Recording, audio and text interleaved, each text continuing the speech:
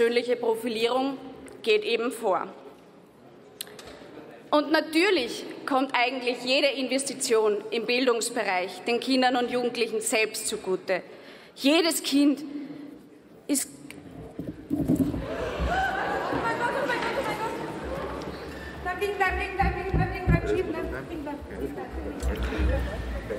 Ui, ein Schwächeanfall von Eva Maria Holzneitner von der SPÖ, die Frauensprecherin, ist jetzt vor dem Mikrofon zusammengeklappt. Beate Meindl-Reisinger leistet Hilfe.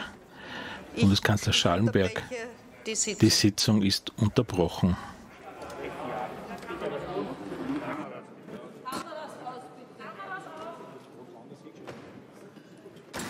Wir werden gebeten, die Kameras abzuschalten. Ich weiß nicht, ob wir jetzt. Okay, wir zeigen.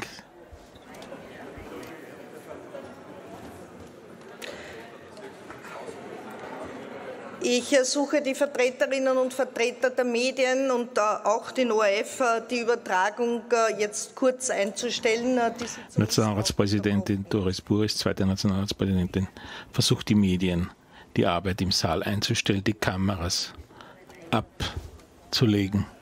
Äh, wir schwenken auf den Boden verlassen die Geräte.